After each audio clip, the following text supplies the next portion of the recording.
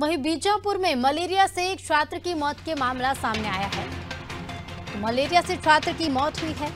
बीजापुर से खबर आपको बता रहे हैं, जहाँ दूसरी कक्षा में पढ़ता था छात्र दिनेश तेलाम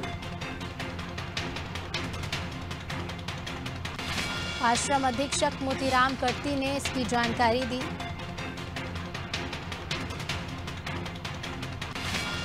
भैरमगढ़ ब्लॉक का ये मामला बताया जा रहा है।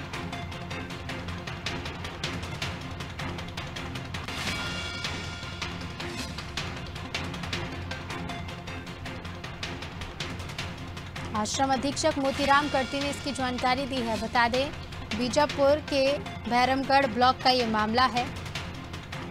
मलेरिया से छात्र की मौत हो गई। छात्र दूसरी कक्षा में पढ़ता था।